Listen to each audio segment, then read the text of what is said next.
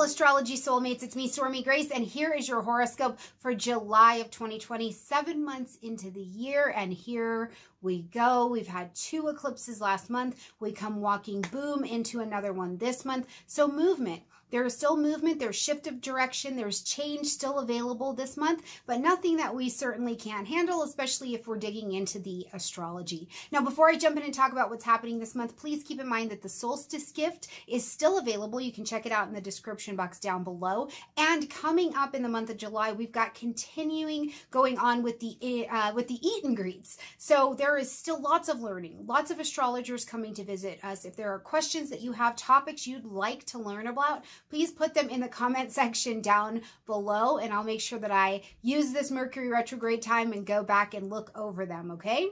All right, you guys, let's jump in and talk about what's going on for you this month, Aries. As we're coming into the month, we are coming in with Mars in your sign. It's your ruling planet, it's in your sign, full power, lots of drive, lots of energy, lots of movement going on. So enjoy it. Enjoy being active, enjoy taking on projects, initiating things, being in the movement of what you've got going on. It's always nice when the ruling planet comes home to roost, right? As well, coming into July, Venus is also out of retrograde. So this I think is so brilliant for you because it speaks very well to having clarity, especially financial clarity, clarity in your relationships and clarity on things of value. So it's the, the gift of the beautiful mind. There's lots of clarity available to you. As well, I do keep getting this sense as I go through your horoscope for the month that um, if you do happen to be an Aries energy who's ready for some romance or just ready to play, ready for some joy, some fun, doing things socially and even socially locally might be something that you're able to find yourself getting into. It's like, you know, have a little mini barbecue with the neighbors or something like that there's a lot of good beautiful mind or value to be found in that energy as we travel this month as well. Now, on the very first of the month, we walk into July with Saturn still in retrograde, of course, but backing up into that energy of Capricorn. So this lights up your 10th house space. You've been working on the 10th house now. It's not new information. So as Saturn continues the retrograde and comes back into Capricorn, it's really Saturn coming back for the next handful of months to say, did you pay attention to the lessons, right? Did you learn about your career, your soul level calling, um, your industry, right? What you're doing in the world because career here is what we identify in the 10th house, but it doesn't always have to be the work that you're doing in terms of a physical career. Maybe you're unemployed. Maybe you are retired. What are you doing and giving out to the world? What are you offering back? Saturn's return back in here is going to pull your attention here again and say, do you need to get more organized here? Do you need to be more disciplined in this particular area? Do you need more training? We just had a Jupiter Pluto conjunction. What do you need to fill in the gaps? Who do you need to ask for help? Saturn will definitely bring your attention here because it's literally this idea of raising the vibration here, leveling up, um, self discipline as a means of freedom, getting organized as a means of freedom is what comes here. Now, just behind that, on the fourth, fifth, depending on where you are in the world, we're going to have this full moon lunar eclipse happening in the energy of Capricorn as well. So, this again is putting some emphasis and energy into this 10th house for you. Now, at this lunar eclipse, though, one of the things that I think comes back and continues to stimulate my mind for you this month is that shifts and changes. The full moon says that something has to be ended, acknowledged, or adjusted. With it being eclipsed, this is going to last instead of four weeks, it'll last six months down the road. But one of the things that I keep thinking is disrupted or eclipsed is that it's not so much that you're having job challenges yourself, Aries, but it could be that the government has changed regulations on your industry or on jobs or something that you're going to be doing. Maybe there have been changes within your company where the management is changing. And so it's creating a little hustle bustle in the area of work for you. This could also be too that you did receive some different training. So now you're in a management position or you're in a different position and you're needing to figure out how you're going to govern these things, which that Saturn back here in Capricorn, I think will help you get organized and figure out what to do in this area. Now, the other thing is that because this stirs up this 10th house for you, which is the tip top of the chart, I also pay attention to the bottom of the chart because as things get stirred up here in the career area, it could also mean that at home there's something going on that also will demand your attention at this time. But ultimately, this is a transition of being willing to say, yes, I learned the lessons, and over the next next six months, get ready to transition in this area of your life in a little bit of a different way. Now, this eclipse is going to just do a little gentle feel on Mars, Mercury, and Jupiter. So this gives me the indicator that if you were going to travel, at the beginning part of this month, please make every precaution. Use it, it's almost like super retrograde energy, and Mercury is still retrograde at this point in the month, but it just gives me this idea that if you can postpone travel or do it at the end of the month, it may be um, done with a bit more ease. Now, of course, this will depend on your individual chart, but it certainly shifts travel plans, but it also shifts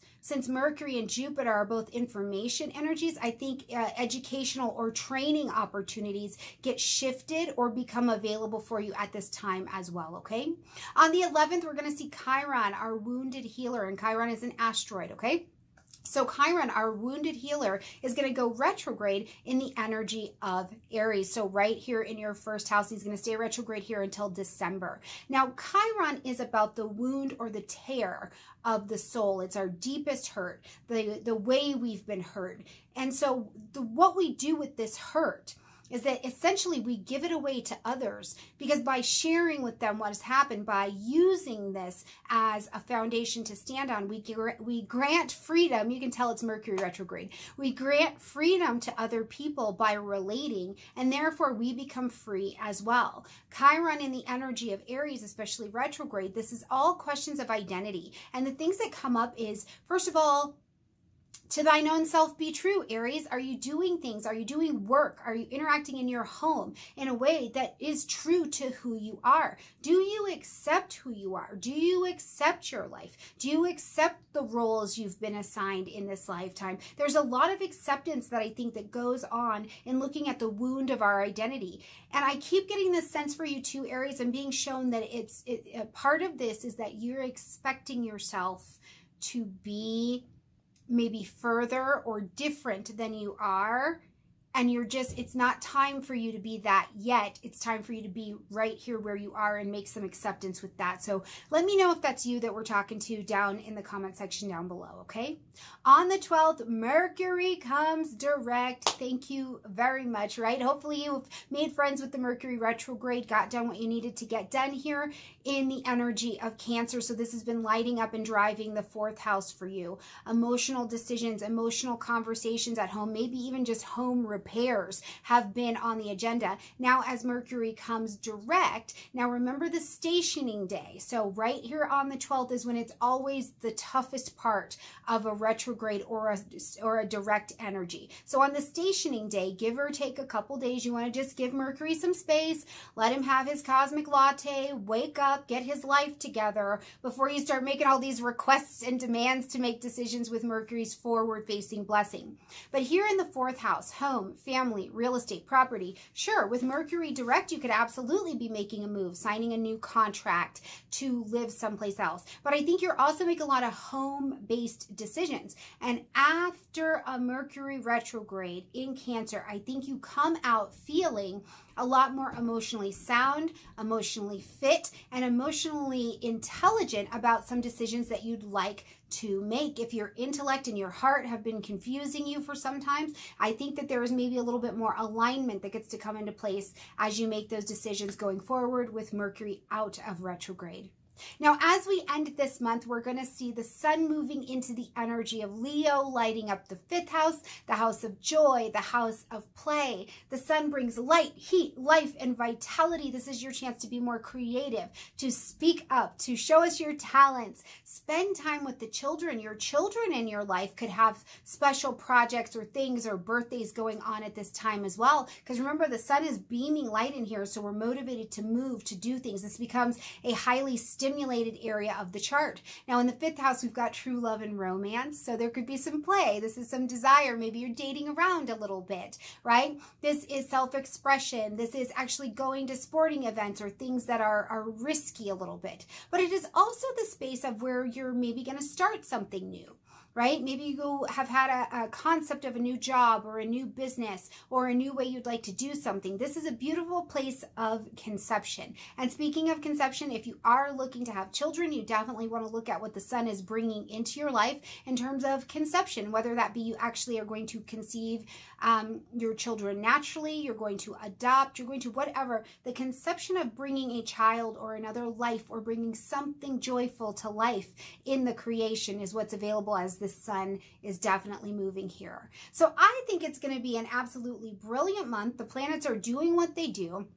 We're still in a pretty heavy retrograde period as we travel throughout the month, but it's not, I don't feel like it is as disruptive this month as it has been in, in several other months behind us. In this month, instead, we get the opportunity to take a big shift at the beginning of the month. Then the pieces in the dust start to settle a little bit and we get to see what to start doing with some things. And from the perspective of all of these retrograde planets that are in Capricorn, we're going back over things we've been looking at for some time. So that's not new information, right? We have done some crystallizing and some mastery over these lessons. Now, as the rest of the dust settles and we see what to do with them, we're actually making decisions from the position of wisdom, from the position of, okay, I've seen this.